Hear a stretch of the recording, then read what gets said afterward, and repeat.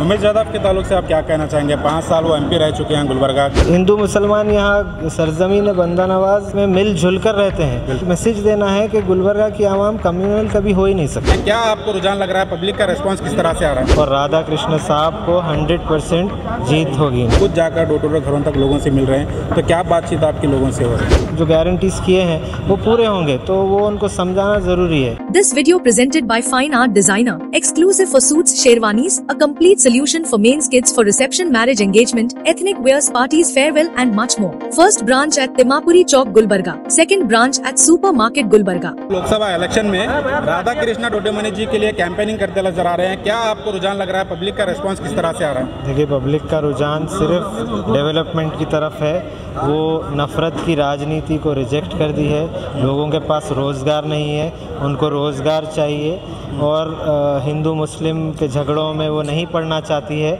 और राधा कृष्ण साहब को 100 परसेंट जीत होगी इंशाल्लाह सर बाबा माइनॉरिटी से कितना असर पड़ सकता है कांग्रेस माइनॉरिटीज़ का डेफिनेटली असर पड़ेगा क्योंकि सब लोग तो बीजेपी से नाराज़ है। एक तो नौकरियों की वजह से रोज़गार की वजह से उनके वादे उन्होंने पूरे नहीं किए।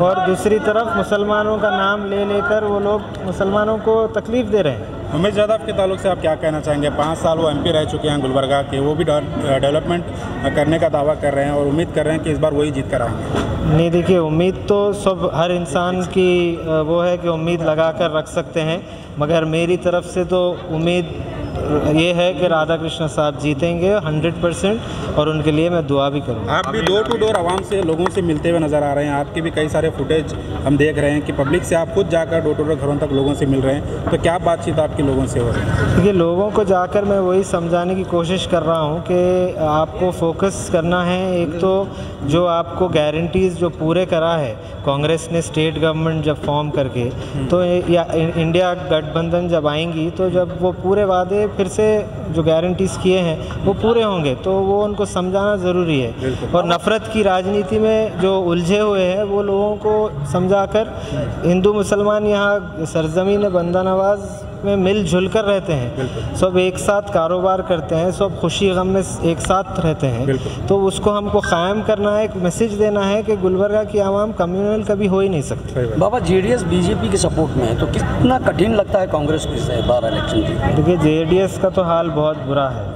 उससे कोई फ़ायदा होने वाला नहीं है। अब कल हाल ही में एक स्कैंडल भी बाहर आ चुका है और पीएम मोदी साहब भी उस उनके लिए प्रचार करने गए थे।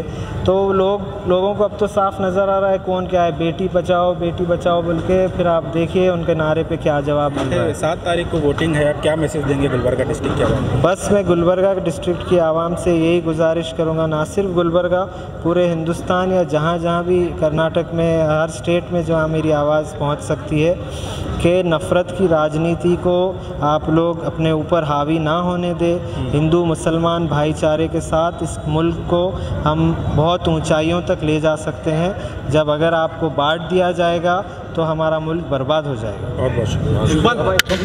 This video presented by fine art designer exclusive for mens kids for reception marriage engagement ethnic wears party farewell and much more first branch at Timmapuri Chowk Gulbarga second branch at supermarket Gulbarga